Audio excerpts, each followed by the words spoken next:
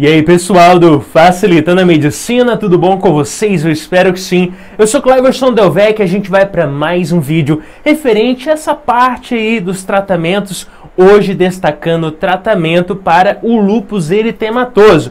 E claro, eu convido você a participar aqui da nossa comunidade, que é muito simples, só clicar nesse botãozinho vermelhinho escrito inscrever-se que está embaixo do vídeo, clicou ali você já faz parte aqui. Tranquilo? De segunda a sexta sempre temos vídeos novos referente à área da saúde e você inscrito não perde nenhum conteúdo. Então chega de blá blá blá, se inscreve e vamos logo ao que interessa, tratamento do lúpus eritematoso. Vamos lá? Bom, pessoal, antes de tudo, vamos relembrar o que é esse lúpus eritematoso, né? Antes de destacar tratamento, diagnóstico. Primeiro, o lúpus eritematoso, você já, né, já deve estar por dentro.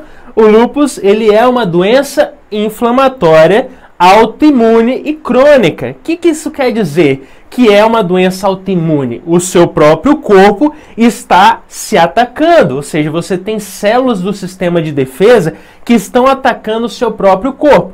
E isso vai gerar danos, inflamação e é um problema crônico. Agora, como que a gente faz o diagnóstico antes do tratamento? Como que é o diagnóstico? O diagnóstico, pessoal, pode ser variado, porque como a gente destaca aqui, né, esse lúpus eritematoso ele pode acometer diferentes órgãos do seu corpo e dessa forma pode gerar diferentes sintomas. E aí a gente destaca né, que o diagnóstico ele pode ser variado e a gente pode utilizar, por exemplo, o hemograma. E esse hemograma, como nós vimos aí, né, ele pode ser um, um norte para que você veja ali alterações nesse sangue. Uma anemia, por exemplo, esse paciente vai apresentar, no caso de um hemograma, vai mostrar essa anemia. Temos neutropenia, linfocitopenia, enfim, vamos ver grandes alterações das células de defesa e também as células sanguíneas desse paciente alteradas nesse hemograma. Mas também tem um combis positivo, combis direto positivo, reticulocitose. Você vai encontrar aí um, um grande deficiência de vitamina D nesse paciente. Também quadros inflamatórios, provas inflamatórias com elevação do, do VHS. Também podemos encontrar nesse paciente aí uma proteinúria e hematúria. O que, que é isso? Você vai ver nesse paciente na sua urina presença de proteína. É para ter proteína no, na urina do paciente? Não é, pessoal. Porque na filtração as proteínas elas são grandes, elas não podem passar pelas fenestras na filtração né, glomerular. Então você vê proteinúria que demonstra uma lesão renal nesse paciente. Também hematúria. O que, que é isso? Sangue na urina. É para ter sangue, é para ter hemácias nessa urina? Claro que não, pessoal. São células grandes e são células que o corpo preserva, porque mantém a sua vida. Então não é para ter sangue, hemácias, né, na, nessa urina. Então você vai encontrar proteinúria, proteína e sangue nessa urina.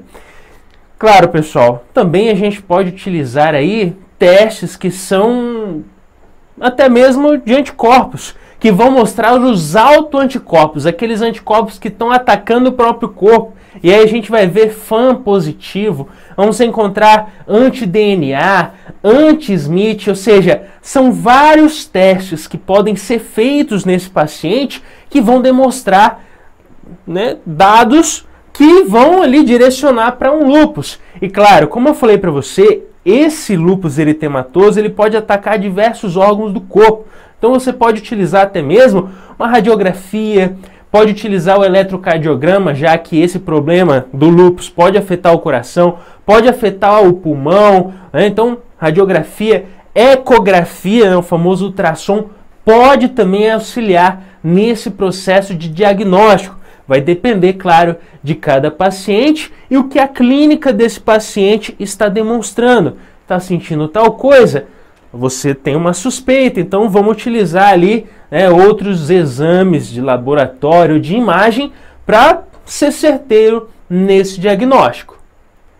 E aí você fala, beleza, já sei o que, que é o lúpus eritematoso, é uma doença autoimune, ou seja, o próprio corpo apresenta anticorpos, células de defesa também, que vão atacar o próprio corpo, é uma doença crônica e inflamatória, sabemos o diagnóstico e o tratamento. Como que a gente vai ajudar esse paciente? E aí eu falo, né, o que eu vou destacar aqui é o que é usado em comum praticamente para em geral. Mas claro que dependendo da situação e da clínica do paciente, pode ter tratamentos ali que são mais voltados para aquele tipo de sintoma, para aquele tipo de paciente, para o que ele está passando.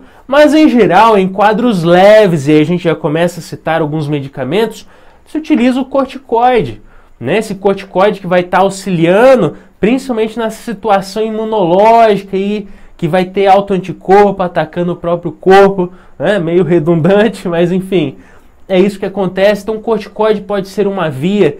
Também hidroxicloroquina, também pode utilizar os famosos AINES, que são o quê? Os anti-inflamatórios não esteroides.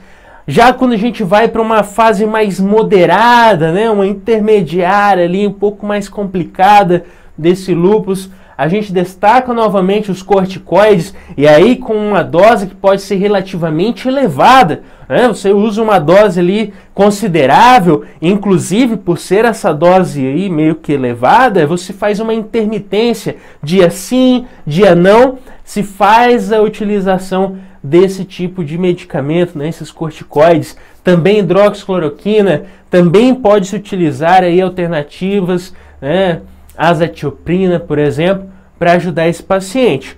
Já em casos aí mais agravantes, e a gente destaca principalmente pacientes que estão com lesões renais, né, que a gente falou que pode ter proteinúria, hematúria, e claro, em situações de lesão renal, isso aí pode estar realmente elevado e agravado, no, dependendo do paciente e do quadro dele. E aí, novamente, entramos com os corticoides, que vão auxiliar esse paciente, mas também é, mofetim, rituximab, tudo isso pode ser uma das alternativas também para ajudar. Agora, pacientes que vão apresentar trombose, né, aí a gente pode entrar com AS, né, aspirina, varfarina, tudo isso aí né, vai depender da situação e o quadro clínico desse paciente. Isso é importante destacar. E claro, como esse paciente ele tem uma alteração imune e muitas vezes ele pode estar enfraquecido esse sistema imunológico, e claro, ele vai estar nessa situação, é importante sempre ressaltar aí a situação para prevenir outras enfermidades. Né? Vacinação tem que estar em dia para evitar que esse paciente que já está vulnerável no seu sistema de defesa do corpo adquirir outros problemas, né, que pode agregar, piorar e infelizmente levar a óbito esse paciente. Então o quadro vacinal tem que estar tá em dia, tem que ter um acompanhamento médico para evitar uma possível pior e outra, problemas secundários, né, que poderia aí ser uma situação realmente desagradável. Então, pessoal, com isso a gente finaliza mais um vídeo. Eu espero ter te ajudado. E claro, é um resumo aqui mais breve possível para te ajudar. Se inscreve no canal e até o próximo vídeo. Valeu!